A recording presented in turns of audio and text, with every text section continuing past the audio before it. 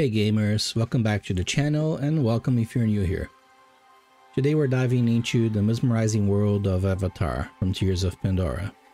The game that not only lived up to the hype, but left me utterly speechless. Seriously, my jaw is still on the floor. Before we jump into the nitty gritty, this review is going to be a roller coaster through the sections that make Avatar a gaming masterpiece. We're talking graphics and performance on the almighty PS5, the jaw-dropping environment and vast map, and the all-encompassing immersion, plus much more. So first, let's address the elephant in the room. Papyrus! Is Avatar Frontiers of Pandora a reskin of Far Cry?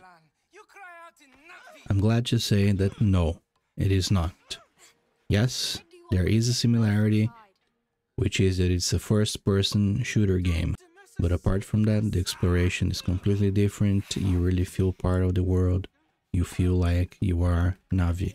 And that is the most important thing in the game in my opinion. The world building and attention to detail to the story and lore of Avatar is so good that you forget about the combat. The combat is just a secondary thing in this game. Performance. Avatar runs like a dream on the PS5 and even in quality mode. It's so smooth that I forgot it wasn't running at 60 FPS. The visuals are just mind-blowing and I've lost count of how many times I had to pause and soak in the sheer beauty of Pandora. From the eye color and face shape to Na'vi bioluminescence patterns, the customization is good enough when considering that all Na'vi have similar characteristics, and it's a first-person shooter. We can, however, see ourselves in third person when on our mount and on photo mode. It is also possible to obtain new patterns and cosmetics for your appearance through the store, and also unlocking with missions. Pandora's map is just massive, no pun intended, and I'm loving every inch of it. That's what she said! I spent a good 10 hours in Kinglor Forest alone, and that's the amount of time I played so far only exploring a fraction of it, about a third. Immersion is the name of the game here, with minimal UI and customizable settings that lets you dive as deep as you want. I've been rocking the exploration mode, and let me tell you, it takes the experience to a whole new level. Avatar has two quest guidance options. The quest guidance allows you to choose how much assistance you would like to have when navigating the world while doing quests. The first option is Guided. When you use your Na'vi sense, a glowing marker will appear in the direction of the objective. You still have to look around to find it though. Now, the second option is called Exploration. In Exploration mode, you will get hints to quest locations, but there is no marker and it requires you to use map and world knowledge to find where to go. Now, let's talk about gameplay. Avatar throws in a mix of combat settings, a flexible difficulty system, and a field of view slider that gives you the perfect view of this lush world. The gameplay is centered around exploration, and every nook and cranny has a surprise waiting. I had a heart-pounding encounter with two hammerheads that turned into a full-on event. And man, did it feel epic. In this event, when I tried to avoid the hammerheads, I came across another hammerhead that was trapped by the RDA. Long story short, I had to free it. Every system focuses on exploration. Do you want to prepare a meal? You have your book recipe where you can see the ingredients needed. Oh, you don't know where to find meat? Go to your hunter's guide.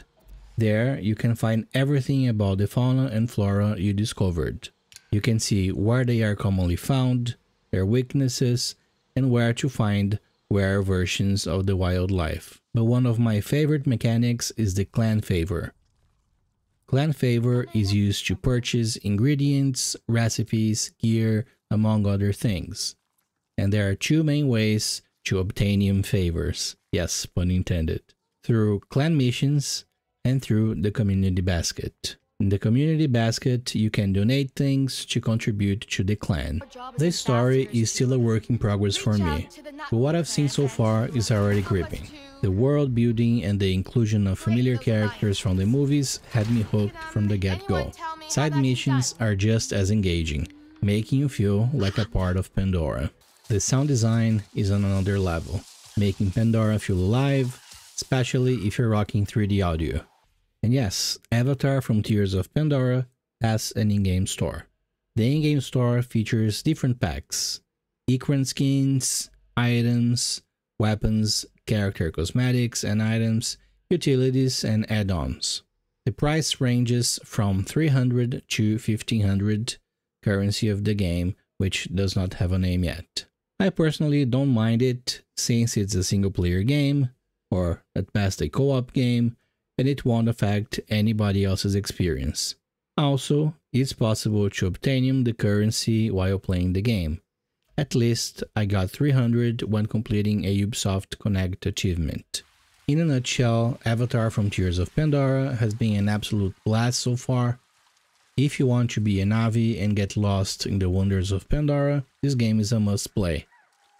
And hey, if you're still on the fence, consider saving some bucks with Ubisoft Plus because the game will be there day one. And I've been having so much fun that I'm committed to bringing your daily videos about Avatar, so don't forget to like, subscribe, and hit the notification bell if you enjoy the content.